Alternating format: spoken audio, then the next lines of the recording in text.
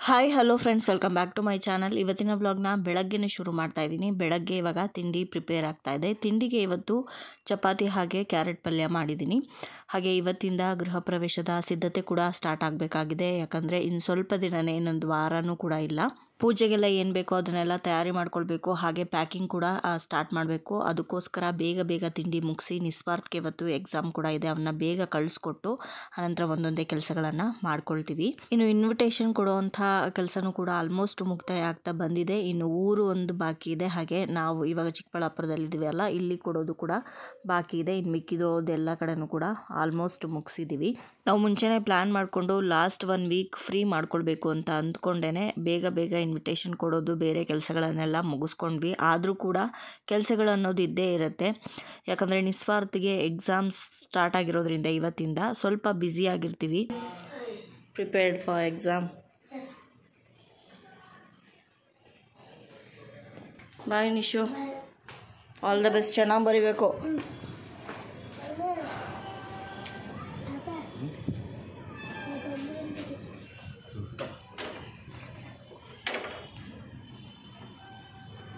Bye all the best ಇಲ್ಲಿ.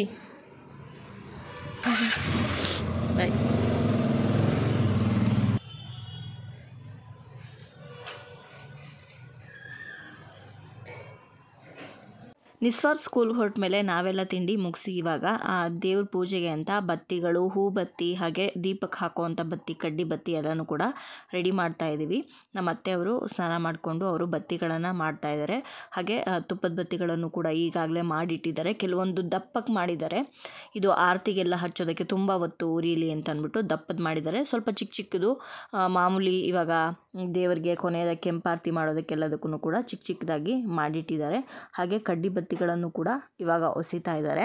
ಇಷ್ಟೆಲ್ಲ risk ತೊಗೊಳಕ್ಕೆ ಇಷ್ಟ ಇಲ್ಲ ಅಂತ ಅನ್ನೋರು ಖಂಡಿತವಾಗ್ಲೂ ಅಂಗಡಿಗಳಲ್ಲಿ ಅಥವಾ ಗ್ರಂಥಿಗೆ ಅಂಗಡಿಯಲ್ಲಿ ಇದೆಲ್ಲದೂ ಕೂಡ ಸಿಗುತ್ತೆ. ದೀಪದ ಬತ್ತಿಗಳು ಅಥವಾ ತುಪ್ಪದ ಬತ್ತಿಗಳು, ಕಡಲೆ ಬತ್ತಿಗಳು ಎಲ್ಲ ಕೂಡ ಸಿಗುತ್ತೆ.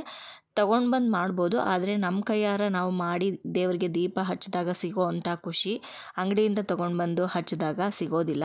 ಅದಕ್ಕೋಸ್ಕರನೇ ಎಷ್ಟು ಸಾಧ್ಯ ಆಗುತ್ತೋ ನಮ್ಮ ಕೈಲಿ ಅಷ್ಟೂ ಕೂಡ ಮಾಡ್ಕೊಳ್ಳೋದಕ್ಕೆ ಪ್ರಯತ್ನ ಪಡ್ತೀವಿ. ಆಗಲ್ಲ ಅನ್ನೋದನ್ನು ಅಂಗಡಿಯಿಂದ ತರಲೇಬೇಕಾಗತ್ತೆ. ಇವಾಗ ಬತ್ತಿಗಳನ್ನೆಲ್ಲ ಮಾಡಿದ್ದಾಗಿದೆ. ಈ ಬತ್ತಿಗಳನ್ನು ಇವಾಗ ನಾನು ತುಪ್ಪದಲ್ಲಿ ನೆನೆಸಿ ಇಡ್ತಾ ಇದ್ದೀನಿ. ಈ ತುಪ್ಪವನ್ನು ಮನೆಯಲ್ಲೇ ಕಾಯಿಸಿರೋ ಅಂಥದ್ದು ಇದಕ್ಕೆ ಏನೇ ಹಾಕಿಲ್ಲ, ಏನೂ ಕೂಡ ಹಾಕಿಲ್ಲ. ಅಂದರೆ ಉಪ್ಪು ಅಥವಾ ಮೆಂತ್ಯ, ಕಾಳು ಏಲಕ್ಕಿ ಎಲ್ಲ ಹಾಕಿ ನಾವು ತುಪ್ಪ ಕಾಯಿಸ್ತೀವಲ್ಲ ಅದು ಯಾವುದೂ ಹಾಕಿಲ್ಲ. ಕೇವಲ ಕೆನೆ ತೆಗೆದು ಅದರಲ್ಲಿ ಬೆಣ್ಣೆ ಮಾಡಿ ತುಪ್ಪ ಕಾಯಿಸಿರುವಂಥದ್ದು, ಮನೆಯಲ್ಲೇ ಮಾಡಿರುವಂಥದ್ದು, ಮನೆಯಲ್ಲಿ ತೊಗೊಳ್ಳೋವಂಥ ಹಾಲಲ್ಲೇ ಕೆನೆನೆಲ್ಲ ಶೇಖರಣೆ ಮಾಡಿಟ್ಕೊಂಡು ಅದರಲ್ಲಿ ಬೆಣ್ಣೆ ಮಾಡಿ ತುಪ್ಪ ಕಾಯಿಸಿರುವಂಥದ್ದು. ಇದಕ್ಕಿವಾಗ ತುಪ್ಪದ ಬತ್ತಿಗಳನ್ನು, ಅಂದರೆ ಕಡಲೆ ಬತ್ತಿಗಳನ್ನು ತುಪ್ಪದಲ್ಲಿ ನೆನೆಸಿ ಇಡ್ತಾ ಇದ್ದೀನಿ ನಾನು. ಈ ರೀತಿ ಮುಂಚೆನೇ ನಾವು ತುಪ್ಪದಲ್ಲೆಲ್ಲ ನೆನೆಸಿ ಇಟ್ಕೊಂಡ್ರೆ ದೀಪ ಚೆನ್ನಾಗಿ ಉರಿಯುತ್ತೆ ಬರೀ ಯಾವುದೇ ಒಂದು ಫಂಕ್ಷನ್ಗೆ ಅಂತ ಅಲ್ಲ, ಮಾಮೂಲಿ ದಿನದಲ್ಲೂ ಕೂಡ ನಿಮಗೆ ಯಾವಾಗ ಸಾಧ್ಯ ಆಗುತ್ತೋ ಅವಾಗ ಬತ್ತಿಗಳನ್ನು ಮಾಡಿಟ್ಕೊಂಡು ತುಪ್ಪದಲ್ಲಿ ನೆನೆಸಿಟ್ಬಿಟ್ರೆ ವರ್ಷ ಇಡೀ ಪೂರ್ತಿ ನೀವು ಆ ಬತ್ತಿಗಳನ್ನು ಉಪಯೋಗಿಸ್ಕೋಬೋದು. ಆರತಿ ಮಾಡೋದಕ್ಕೆ ಅಥವಾ ಬೇರೆ ಇನ್ಯಾವುದೇ ತುಪ್ಪದ ದೀಪ ಹಚ್ಚೋದಕ್ಕೆಲ್ಲದಕ್ಕೂ ಕೂಡ ಬಳಸ್ಕೊಳ್ಳೋದಕ್ಕೆ ಈಸಿ ಆಗುತ್ತೆ. ಇನ್ನು ದೀಪಕ್ಕೆ ಹಾಕುವಂಥ ಕಡ್ಡಿ ಬತ್ತಿಗಳನ್ನು ಕೂಡ ನೀವು ಎಣ್ಣೆಯಲ್ಲಿ ನೆನೆಸಿ ಇಡ್ಬೋದು. ಅದು ಕೂಡ ದೀಪ ಚೆನ್ನಾಗಿ ಉರಿಯುತ್ತೆ. ಇನ್ನು ಇವಾಗ ನೆಕ್ಸ್ಟ್ ಕೆಲಸ ಏನಂದರೆ ನಾವು ಧಾನ್ಯದ ಗಂಟು ಅಂತ ಕಟ್ತೀವಿ ನವಧಾನ್ಯದ ಗಂಟು. ಅದನ್ನು ಕಟ್ಟೋದಕ್ಕೆ ಒಂದು ಬಿಳಿ ಬಟ್ಟೆಯನ್ನು ತಗೊಂಡು ನೀರಲ್ಲಿ ಚೆನ್ನಾಗಿ ಅದನ್ನು ತೊಳೆದು ಅದಕ್ಕೆ ಅರ್ಶಿನವನ್ನು ಹಚ್ಚಿಟ್ಟಿದ್ದೀನಿ. ಅರ್ಶನ ಹಚ್ಚಿ ಚೆನ್ನಾಗಿ ಅದನ್ನು ಒಣಗಿಸ್ಕೋಬೇಕು. ಆ ಬಟ್ಟೆ ಒಣಗಿರೋವಂಥ ಬಟ್ಟೆಯನ್ನು, ಅರ್ಶನದ ಬಟ್ಟೆಯನ್ನು ಇವಾಗ ಕಟ್ ಮಾಡ್ಕೊಳ್ತಾ ಇದ್ದೀನಿ. ಚೌಕಾಕಾರವಾಗಿ ಕಟ್ ಮಾಡ್ಕೊಳ್ಬೇಕು. ಚಿಕ್ಕ ಚಿಕ್ಕ ಪೀಸ್ಗಳನ್ನಾಗಿ ಕಟ್ ಮಾಡ್ಕೊಂಡಿದ್ದೀನಿ. ನೋಡ್ತಾ ಇದ್ದೀರಲ್ವ? ಈ ರೀತಿ ಕಟ್ ಮಾಡ್ಕೊಂಡಿರೋಂತಹ ಬಟ್ಟೆಗಳಿಗೆ ನವಧಾನ್ಯಗಳನ್ನು ಹಾಕಬೇಕು.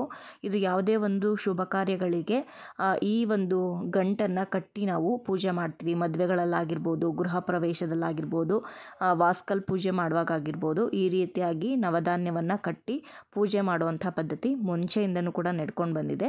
ಅದಕ್ಕೋಸ್ಕರ ಈ ಬಟ್ಟೆಗಳನ್ನೆಲ್ಲ ಇವಾಗ ಕಟ್ ಮಾಡಿ ಇಟ್ಟಿದ್ದೀನಿ. ಇನ್ನು ನವಧಾನ್ಯವನ್ನು ರೆಡಿ ಮಾಡ್ಕೋಬೇಕು. ಅದಕ್ಕೋಸ್ಕರ ನಾನಿವಾಗ ನವಧಾನ್ಯಗಳನ್ನು ಮಿಕ್ಸ್ ಮಾಡ್ತಾ ಇದ್ದೀನಿ. ಮೊದಲನೇದಾಗಿ ನವಧಾನ್ಯಕ್ಕೆ ಹುರುಳಿಕಾಳು ಹಾಕಿದ್ದೀನಿ. ಹುರುಳಿಕಾಳು ಆದ ನಂತರ ಅಕ್ಕಿ ಹಾಕ್ತಾ ಇದ್ದೀನಿ. ಅಕ್ಕಿ ಬದಲು ನೀವು ಭತ್ತವನ್ನು ಕೂಡ ಹಾಕ್ಬೋದು. ಭತ್ತ ಮನೇಲಿರಲಿಲ್ಲ. ಭತ್ತದ ಬದಲಾಗಿ ನಾನು ಅಕ್ಕಿಯನ್ನು ಹಾಕ್ಕೊಂಡಿದ್ದೀನಿ ಆನಂತರ ಗೋಧಿ ಹಾಕಿದ್ದೀನಿ. ಗೋಧಿ ಜೊತೆಗೆ ಹೆಸ್ರು ಕಾಳು ಹಾಕ್ತಾಯಿದ್ದೀನಿ ಹೆಸ್ರು ಕಾಳು ಆದಮೇಲೆ ಕಡಲೆಕಾಳು, ಬಟಾಣಿ ಈ ರೀತಿಯಾಗಿ ಒಂಬತ್ತು ಧಾನ್ಯಗಳನ್ನು ಹಾಕಬೇಕಾಗತ್ತೆ. ಒಂಬತ್ತು ಧಾನ್ಯ ಅಥವಾ ಐದು ಧಾನ್ಯವನ್ನು ಹಾಕಿ ನೀವು ಕಟ್ಬೋದು ಗಂಟನ್ನು. ಇದಕ್ಕೆ ನೀವು ಯಾವುದೇ ಧಾನ್ಯಗಳನ್ನು ಕೂಡ ಸೇರಿಸ್ಕೊಳ್ಬೋದು. ಯಾವುದು ಸಿಗಲಿಲ್ಲ ಅಂದರೆ ಕಡಲೆ ಬೀಜ ಅದನ್ನು ಕೂಡ ಹಾಕೋಬೋದು. ಹಾಗೆ ರಾಗಿ ಸೇರಿಸ್ಬೋದು. ನಾನಿಲ್ಲಿ ಎಳ್ಳನ್ನು ಹಾಕಿದ್ದೀನಿ, ಕಪ್ಪು ಎಳ್ಳು. ಅದು ಕೂಡ ಧಾನ್ಯಕ್ಕೆ ಸೇರುತ್ತೆ. ಸಾಸಿವೆ ಕೂಡ ಹಾಕ್ಬೋದು. ಇವಾಗ ನಾನು ಅವರೆಕಾಳು ಹಾಕಿದ್ದೀನಿ. ಹಾಗೆ ಅಳಸಂದೆ ಕಾಳು ಕೂಡ ಇದಕ್ಕೆ ಸೇರಿಸ್ತೀನಿ. ಇವಾಗ ಒಂಬತ್ತು ಧಾನ್ಯಗಳು ಆಗಿದೆ. ಹುರುಳಿಕಾಳು, ಅವರೆಕಾಳು ಅಳಸಂದೆ ಕಾಳು, ಕಡಲೆಕಾಳು, ಬಟಾಣಿ ಆನಂತರ ಹೆಸರು ಕಾಳು ಅಕ್ಕಿ, ಗೋಧಿ ಮತ್ತು ಎಳ್ಳು ಒಂಬತ್ತು ಥರದ ಧಾನ್ಯವನ್ನು ಹಾಕಿ ಇವಾಗ ಅದನ್ನೆಲ್ಲನೂ ಕೂಡ ಮಿಕ್ಸ್ ಮಾಡ್ತಾ ಇದ್ದೀನಿ. ಇವಾಗ ಮಿಕ್ಸ್ ಮಾಡಿರೋವಂಥ ಈ ಧಾನ್ಯಗಳನ್ನು ಯಾವ ರೀತಿ ಕಟ್ಟಬೇಕು ಅಂತ ಕೂಡ ತೋರಿಸ್ತೀನಿ. ಈ ಧಾನ್ಯದ ಗಂಟು ಕಟ್ಟಕ್ಕೆ ನಾವು ತಯಾರು ಮಾಡ್ಕೊಂಡಿರೋಂಥ ಅರ್ಶನದ ಬಟ್ಟೆಗಳು ಚೌಕಾಕಾರವಾಗಿ ತಗೊಳ್ಬೇಕು. ಹಾಗೆ ಒಂದು ಅರ್ಶನದ ದಾರವನ್ನು ಕೂಡ ಮಾಡ್ಕೊಳ್ಬೇಕು. ಈಗ ಅರ್ಶನದ ದಾರ ನಿಮಗೆ ರೆಡಿಯಾಗಿಯೇ ಗ್ರಂಥಿಗೆ ಅಂಗಡಿಯಲ್ಲಿ ಸಿಗುತ್ತೆ. ಸಿಗಲಿಲ್ಲ ಅನ್ನೋರು ಮೂರೆಳೆ ದಾರಕ್ಕೆ ಅರ್ಶನವನ್ನು ಹಚ್ಚಿ ಇಟ್ಕೋಬೇಕು. ಆನಂತರ ಇವಾಗ ನಾವು ತಯಾರು ಮಾಡ್ಕೊಂಡಿರೋವಂಥ ಚೌಕಾಕಾರದ ಬಟ್ಟೆಗೆ ಎಷ್ಟು ಬೇಕೋ ಅಷ್ಟು ಧಾನ್ಯವನ್ನು ಹಾಕಿ, ಆ ಧಾನ್ಯ ಹಾಕಿರುವಂಥ ಆ ಬಟ್ಟೆಯನ್ನು ನಾಲ್ಕು ಮೂಲೆಯನ್ನು ಹಿಡಿದು ಅದಕ್ಕೆ ಇವಾಗ ದಾರವನ್ನು ಕಟ್ಟಬೇಕು ದಾರವನ್ನು ಸ್ವಲ್ಪ ಉದ್ದವಾಗಿಯೇ ಕಟ್ಟಬೇಕಾಗತ್ತೆ ಯಾಕಂದರೆ ಈ ಒಂದು ಗಂಟನ್ನು ನಾವು ಚಪ್ರಕ್ಕೆ ಪೂಜೆ ಮಾಡುವಾಗ, ಚಪ್ರದ ಪೂಜೆ ಮಾಡುವಾಗ ಚಪ್ರಕ್ಕೆ ಕಟ್ತೀವಿ. ಆನಂತರ ಗಂಗೆ ಪೂಜೆ ಮಾಡಿಕೊಂಡು ಐದು ಬಿಂದಿಗೆಗಳನ್ನು ಮನೆ ಒಳಗಡೆ ತೊಗೊಂಡು ಹೋಗ್ತೀವಲ್ಲ, ಗಂಗೆ ಪೂಜೆ ಮಾಡಿ ಗೃಹ ಪ್ರವೇಶ ಮಾಡುವಾಗ, ಆವಾಗ ಪ್ರತಿಯೊಂದು ಚೊಂಬಿನ ಅಥವಾ ಬಿಂದಿಗೆಯ ಕುತ್ತಿಗೆಗೂ ಕೂಡ ಈ ಒಂದು ಗಂಟನ್ನು ಕಟ್ತೀವಿ. ಅದಕ್ಕೋಸ್ಕರ ಸ್ವಲ್ಪ ದೊಡ್ಡದಾಗಿಯೇ ದಾರವನ್ನು ಬಿಟ್ಕೊಂಡಿರಿ. ಆ ನಂತರ ದಾರನ ಅಡ್ಜಸ್ಟ್ ಮಾಡೋದಕ್ಕೆ ಸ್ವಲ್ಪ ಕಷ್ಟ ಆಗುತ್ತೆ. ಎಲ್ಲೆಲ್ಲಿ ಇಟ್ಟಿರ್ತೀವೋ ದಾರ ಗೊತ್ತಿರೋದಿಲ್ಲ. ಹಾಗಾಗಿ ಮುಂಚೆನೇ ಮುಂದಾಲೋಚನೆ ಮಾಡಿಕೊಂಡು ಸ್ವಲ್ಪ ದಾರವನ್ನು ಉದ್ದವಾಗಿ ಇಟ್ಕೊಂಡ್ರೆ ಒಳ್ಳೆಯದು ಮದುವೆಯಲ್ಲೂ ಕೂಡ ಸಾಕಷ್ಟು ಶಾಸ್ತ್ರಗಳಿಗೆ ಈ ಒಂದು ಧಾನ್ಯದ ಗಂಟನ್ನು ಕಟ್ತಾರೆ. ಸೇರ್ಗಾಗಿರ್ಬೋದು. ಹಾಗೆ ಒನಕೆ ನಾವು ಅರಿಶಿನ ಕುಟ್ಟೋದಕ್ಕೆ ಅಥವಾ ಭತ್ತ ಕುಟ್ಟೋದಕ್ಕೆ ಏನು ಬಳಸ್ತೀವಿ, ಆ ಒನಕೆಗಳಿಗೂ ಕೂಡ ಈ ಧಾನ್ಯದ ಗಂಟನ್ನು ಕಟ್ತಾರೆ. ಚಪ್ರದ ಕಡ್ಡಿ, ಮೊದಲನೇ ಕಡ್ಡಿ ಏನು ಪೂಜೆ ಮಾಡ್ತೀವಿ, ಅದಕ್ಕೆ ಈ ಧಾನ್ಯದ ಕ, ಗಂಟನ್ನು ಕಟ್ತಾರೆ. ಶಾಸ್ತ್ರದ ನೀರನ್ನು ಮನೆ ಒಳಗಡೆ ತೊಗೊಂಡು ಹೋಗುವಾಗೂ ಕೂಡ ಈ ಧಾನ್ಯದ ಗಂಟನ್ನು ಕಟ್ಟುವಂಥ ಪದ್ಧತಿ ಇದೆ. ಹಾಗೆ ವಾಸ್ಕಲ್ ಪೂಜೆ ನಾವು ಮನೆ ಕಟ್ಟುವಾಗ ವಾಸ್ಕಲ್ ಇಡ್ತೀವಲ್ಲ ಮೇಯ್ನ್ ವಾಸ್ಕಲ್ ಅದಕ್ಕೂ ಕೂಡ ಈ ಧಾನ್ಯದ ಗಂಟನ್ನು ಕಟ್ಟಿ ಪೂಜೆ ಮಾಡ್ತಾರೆ. ಈ ಥರದ ಧಾನ್ಯದ ಗಂಟನ್ನು ನಾನು ಒಂದು ಸುಮಾರು ಒಂದು ಹದಿನೈದು ದ ಗಂಟೆಗಳನ್ನು ರೆಡಿ ಮಾಡಿದೆ. ಯಾಕಂದರೆ ಮೊದಲೇ ಹೇಳಿದಾಗೆ ಚಪ್ರದ ಪೂಜೆಗೆ ಬೇಕು, ಹಾಗೆ ಗಂಗೆ ಪೂಜೆ ಮಾಡುವಾಗ ಕೊಳಾಯಿ ಅಥವಾ ನೆಲ್ಲಿಗೆ ಕಟ್ಟಬೇಕಾಗುತ್ತೆ ಹಾಗೆ ಐದು ಬಿಂದಿಗೆಗಳಿಗೆ ಕಟ್ಟಬೇಕು ಹಾಗೆ ಕೆಲವೊಬ್ಬರು ಇದನ್ನು ಈ ಕಳಸದ ಕುತ್ತಿಗೆಗೂ ಕೂಡ ಕಟ್ಟುವಂಥ ಪದ್ಧತಿ ಇರುತ್ತೆ. ಅಂಥವರು ಕಳಸದ ಕುತ್ತಿಗೆಗೂ ಕೂಡ ಕಟ್ತಾರೆ. ಕಳಸ ಪ್ರತಿಷ್ಠಾಪನೆ ಮಾಡುವಾಗ ಅದಕ್ಕೋಸ್ಕರನೇ ಒಂದು ಹದಿನೈದು ಗಂಟುಗಳನ್ನು ನಾನು ಮಾಡಿ ಇಟ್ಟಿದ್ದೀನಿ ಈಗ ನಾನು ಮಾಡಿಟ್ಟಿರುವಂಥ ನವಧಾನ್ಯದ ಗಂಟುಗಳನ್ನೆಲ್ಲನೂ ಕೂಡ ಸ್ವಲ್ಪನೂ ಅದು ಒಂದಕ್ಕೊಂದು ದಾರ ಟಚ್ ಆದರೆ ಗಂಟಾಗ್ಬಿಡುತ್ತೆ. ಅದಕ್ಕೋಸ್ಕರ ನೀಟಾಗಿ ದಾರಗಳನ್ನೆಲ್ಲ ಇಟ್ಕೊಂಡು ಎಲ್ಲೂ ಗೋಜಾಗದೇ ಇರೋ ಥರ ನೀಟಾಗಿ ಅದನ್ನು ಬೇರೆ ಸಪ್ರೇಟ್ ದಾರದಿಂದ ಕಟ್ಟಿ ಒಂದು ಬಾಕ್ಸಲ್ಲಿ ಹಾಕಿ ಪ್ಯಾಕ್ ಮಾಡಿ ಎತ್ತಿಡಬೇಕು. ಪೂಜೆ ಸಾಮಾನುಗಳನ್ನೆಲ್ಲ ಇಟ್ಕೊಳ್ಳೋ ಅಂಥ ಕಡೆ ಈ ಒಂದು ಧಾನ್ಯದ ಗಂಟುಗಳಿರೋ ಅಂಥದ್ದು ಬಾಕ್ಸ್ನು ಕೂಡ ಇಡಬೇಕಾಗತ್ತೆ. ಕೆಲವೊಬ್ಬರ ಮನೆಯಲ್ಲಿ ಕೆಲವೊಂದು ರೀತಿಯಾದ ಆಚರಣೆಗಳು, ಶಾಸ್ತ್ರಗಳೆಲ್ಲನೂ ಕೂಡ ಇರುತ್ತೆ. ಇದರಲ್ಲಿ ಈ ಒಂದು ಪ್ರೊಸೀಜರ್ ಏನಿದೆ ಅದು? ಸುಮಾರು ಜನಕ್ಕೆ ಗೊತ್ತಿರ್ಬೋದು ಗೊತ್ತಿಲ್ಲದೇನೂ ಇರ್ಬೋದು. ಯಾಕೆ ಮಾಡ್ತಾರೆ, ಹೇಗೆ ಮಾಡ್ತಾರೆ ಅನ್ನೋದು ಕೆಲವೊಬ್ಬರಿಗೆ ಗೊತ್ತಿರೋದಿಲ್ಲ. ಹಾಗಾಗಿ ಇದನ್ನೆಲ್ಲನೂ ಕೂಡ ನಿಮ್ಮ ಜೊತೆ ಹಂಚ್ಕೊಂಡಿದ್ದೀನಿ. ನಿಮ್ಮಲ್ಲಿ ಸುಮಾರು ಜನಕ್ಕೆ ಇದು ಯೂಸ್ಫುಲ್ ಆಗ್ಬೋದು ಅಂತ ಕೂಡ ಭಾವಿಸಿದ್ದೀನಿ. ಇನ್ನು ಇದೇ ಥರ ಪ್ಯಾಕ್ ಮಾಡುವಂಥ ಸಾಕಷ್ಟು ಕೆಲಸಗಳು ಇದೆ. ಅದೆಲ್ಲದೂ ಕೂಡ ಎಷ್ಟಾಗುತ್ತೋ ನನ್ನ ಕೈಲಿ ಅಷ್ಟನ್ನು ವಿಡಿಯೋ ಮಾಡಿ ನಿಮ್ಮ ಜೊತೆ ಹಂಚ್ಕೊಳ್ತೀನಿ.